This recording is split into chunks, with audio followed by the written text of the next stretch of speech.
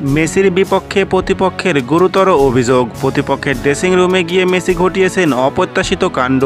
আসুন জেনে নেই বিস্তারিত।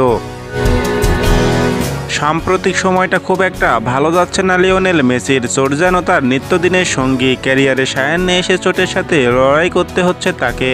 এরই মধ্যে নতুন এক বিতর্কে জড়িয়েছেন ইন্টার মায়ামির এই তারকা। কনকা কাপ চ্যাম্পিয়ন কাপের কোয়ার্টার ফাইনালে মন্টেনের বিপক্ষে প্রথম লেগের ম্যাচে নিজেদের ঘরের মাঠে দুই এক ব্যবধানে হেরেছে ইন্টার মায়ামি।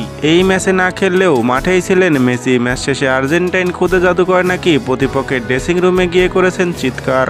রেফারি ও বিপক্ষ দলের খেলোয়াড়দের নিয়ে বকাবাদ্য করেছেন মেসি, এমনটাই জানিয়েছে ইএসপেন। মেক্সিকান ক্লাবটি আনুষ্ঠানিকভাবে অভিযোগ দায়ের করেছে। মেসি ছাড়াও লুইস সুয়ারেজও জর্দি আলবার নামও আছে বলে বিভিন্ন সংবাদ মাধ্যমে খবর বেরিয়েছে। তবে এসব খবরকে খুব একটা পাত্তা দিচ্ছেন না ইন্টার মায়ামি সহকারী কোচ জাভি মোরালেস। ম্যাচের সবচেয়ে গুরুত্বপূর্ণ কাজটি মাঠেই হয় বলে মন্তব্য করেছেন তিনি।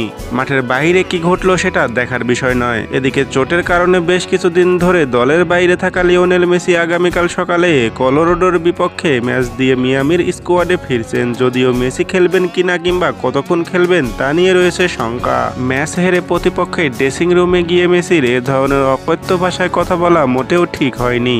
এমনটাই ধারণা করছে নেটিজেনরা। বন্ধুরা, খেলাধুলা সকল আপডেট সবার আগে পেতে আরিপোয়াল ইউটিউব চ্যানেলটি সাবস্ক্রাইব করে পাশেই থাকুন। ধন্যবাদ।